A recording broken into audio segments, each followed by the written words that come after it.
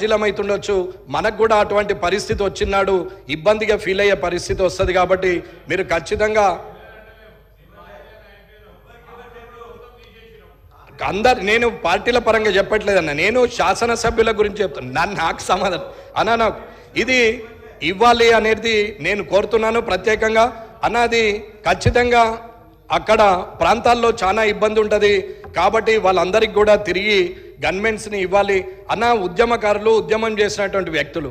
ఎవరైనా సరే అది కోదండరామ్ గారు కావచ్చు పిడమర్తి రవి గారు కావచ్చు వీళ్ళందరూ నాకు ముఖాముఖిగా పరిచయం లేదు. కానీ ఏండ్ల తరబడి ఉద్యమం పద్నాలుగు పదిహేను సంవత్సరాలు ఇరవై సంవత్సరాలుగా తెలంగాణ కోసం కొట్లాడినటువంటి వ్యక్తులు రాజకీయ లబ్ధి కోసం అని కాకుండా తిరిగినటువంటి అటు అటువంటి వ్యక్తులకు కూడా రేపు పొద్దున ఇబ్బందులు అయ్యే పరిస్థితి ఉంటుంది కాబట్టి నేను ఉద్యమకారులకు కూడా ఇవ్వమని చెప్తున్నాం తప్ప వారికి ఉన్నటువంటి పరిస్థితులను బట్టి ఒకసారి ప్రభుత్వం పునరాలోచించాలనేది నేను కోరుకుంటున్నాను అట్లాగే అన్న ఒక్క చిన్న అధ్యక్షుల వారి అధ్యక్షుల వారి అనుమతితో ఒక రెండు నిమిషాలు. అధ్యక్షుల వారి అట్లాగే ఫారెస్ట్ డిపార్ట్మెంట్లో ఇప్పటి వరకు తెలంగాణ కంపెనీ ఏదైతే ఉందో జిటాన్ ట్రేడింగ్ కార్పొరేషన్ అని చెప్పి తెలంగాణ కంపెనీ ఉంది. ఈ తెలంగాణ కంపెనీ కోర్ట్ ఆర్డర్ వచ్చినా కానీ గత ప్రభుత్వం కానీ ఇప్పటి వరకు అది కోర్ట్ ఆర్డర్ను చూసుకొని కాబట్టి కోర్ట్ ఆర్డర్ను చూసి కొంచెము ఆ ఫారెస్ట్ అధికారులు ఫారెస్ట్ శాఖ మంత్రి ఖచ్చితంగా అది కోర్ట్ ఆర్డర్ను ఒబే చేయాలని కోరుకుంటూ మీ అనుమతితో ఒక్క రెండు నిమిషాలు అందరికి సంబంధించిన విషయం. అన్న నేను కొత్తగా ఈ సభలోకి వచ్చినాం. నేను నిన్న కూడా చెప్పినాం. సభ ద్వారా ఎన్నో మాట్లాడాలా ప్రజలకు పనికొచ్చే మాటలు మాట్లాడాలని చెప్పి నేను కూడా అనుకున్నాను. ఒక్క రెండు మూడు నిమిషాలు ఇవ్వండి దీని గురించి. అన్న నేను రాత్రులు కూర్చుండి డేలో కూర్చుండి కొత్తగా స్కూల్కి పోయినోడు రాసుకున్నట్టు రాసుకుంటున్నాను ఇది ఈ సబ్జెక్టులన్నీ కొత్తగా స్కూల్కి పోయినాడు కొత్త బ్యాగ్ వేసుకొని ఎట్లా పోతాడో అట్లా వస్తున్నాం. వీడికి వచ్చి చూస్తే ఏమవుతున్నది ర్యాగింగ్ లాగా ఉన్నది అన్న నేను ఎవరిని ఉద్దేశించి మాట్లాడి దయచేసి యాభై మంది కొత్తలు ఉన్నాము ఇంకొక అరవై మంది పాత వాళ్ళు ఉన్నారు చాలా సీనియర్లు ఉన్నారు. అన్న మార్గదర్శకంగా ఉండాలనేది నా ఆలోచన. సభ నడుస్తుంటుంది. సభ్యుడు మాట్లాడుతుంటాడు. ఒక నలుగురు అక్కడ నిలబడి మాట్లాడతారు. ఒక ముగ్గురు ఇక్కడ నిలబడి మాట్లాడతారు. సభ నడిపేటప్పుడు కనీసం సభా సంస్కారం ఉండాలి మనం మాట్లాడకూడదు సభాధ్యక్షుడు చూస్తాడు అనే ఆలోచన అన్న ఉండాలి. శాసనసభ వ్యవహారాల మంత్రి గారికి నేను కోరేది ఏంటంటే అన్న రేపటికి మనం మార్గదర్శకంగా ఉండాలని కోరుకుంటున్నాం. కొత్తగా వచ్చిన పోయి రేపు పొద్దున మారకపోతావా నేను చూడకపోతానా అని ఎవరన్నా అనుకుంటుండొచ్చు మనసులో.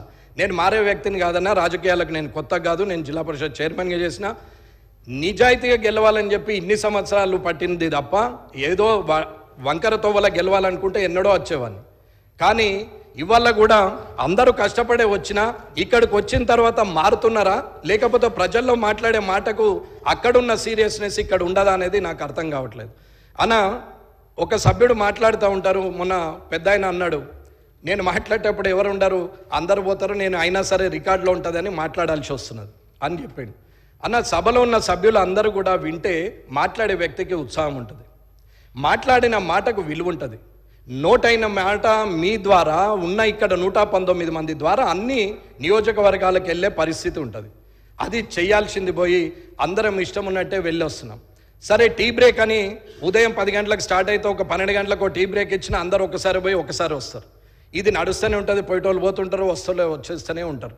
కాలేజీల స్కూల్ డే కాలేజీల ఇంటర్మీడియట్ పిల్లల్ని చూసినట్టు అవుతున్నది తప్ప టీచర్ అటు చూసేసరికి ఒక పీరియడ్ అటండి ఈయనకెళ్ళి వెనక డోర్లకి వెళ్ళి వెనకకి వెళ్ళిపోయినట్టున్నది ఇది పరిస్థితి అన్న అన్న నేను ఎవరిని అవమానించట్లేదు. ఈ సభ అంటే నాకు గౌరవం ఇది చట్టసభ. ఈ చట్టసభలో ఖచ్చితంగా అందరం గౌరవంగా ఉండాలా? రేపు పొద్దున రాజకీయాలు నేను ద్వేష కక్ష ద్వేషాలతో ఉండాలని నేను కోరుకోవట్లేదు. అందరితోని మంచే ఉండాలి కానీ మంచిని మంచి అనాలా చెడుని చెడు అనాలా? అన్న ఇవాళ రుణమాఫీ ఉంది. నాకు అవసరం లేదు నేను రావద్దని అనుకోవచ్చు. కానీ అది కాదు. చేస్తుంది మంచి పని ఏ పార్టీ అనేది అనవసరం. ప్రభుత్వంలో ఒక సభ్యుడిగా ఉన్నాం. ఆ ప్రభుత్వం నాది. నేను ఇది కాంగ్రెస్ ప్రభుత్వం అని మీరు అనుకుంటుండొచ్చు కానీ ఇది తెలంగాణ రాష్ట్ర ప్రభుత్వం అని నేను అనుకుంటున్నాను ఈ రాష్ట్ర ప్రభుత్వంలో నూట పంతొమ్మిది మంది సభ్యులం ఉన్నాం. ఈ ప్రభుత్వం మనందరిది.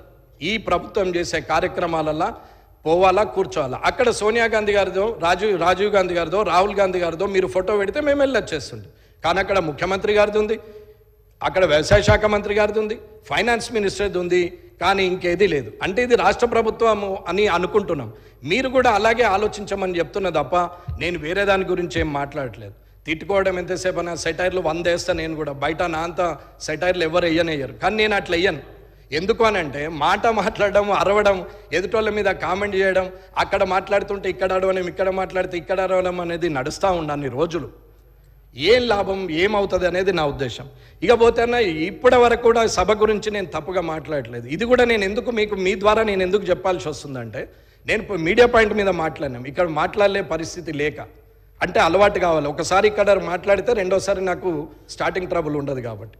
సరే అక్కడ మాట్లాడినప్పుడు కనీసం మార్పు వస్తుంది అనుకున్నాం. పేపర్లో వచ్చింది. నన్ను నేను ఏదో గొప్పగా అనుకుంటుండేమో అని మీరందరూ అపార్థం చేసుకుంటారేమో అని నేను ఇందులో మాట్లాడడానికి సా- మళ్ళీ చెప్పాను తప్ప ఇంకా వేరే ఉద్దేశం లేదు. ఎక్కడైనా ఏదైనా సరే ఇది ఒక్కసారి గౌరవ శాసనసభ్యులందరూ కూడా మనం రేపటి అన్న మనం ఉంటాం పోతాం. రేపు పొద్దున ఎంతోమంది ఉన్నారు. ఎంతోమంది రాజకీయ నాయకులు వచ్చారు. టక్కన చెప్పమంటే ఐదారుగురు పేర్లకి ఎక్క చెప్పలేం. ఆ ఐదారుగురిలో మనం ఉందాము అనేది మన ఆలోచన. ఆ ఐదో ఆరో నంబరో ఏడో నంబరో పదో నంబరో మనం ఉండాలనేది ఆలోచన తప్ప ఏం లేదు.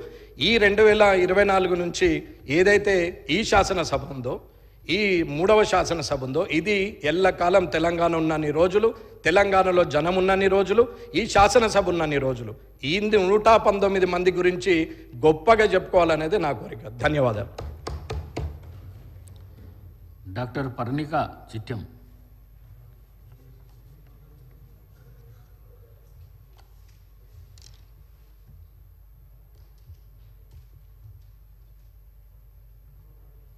Adyaksha.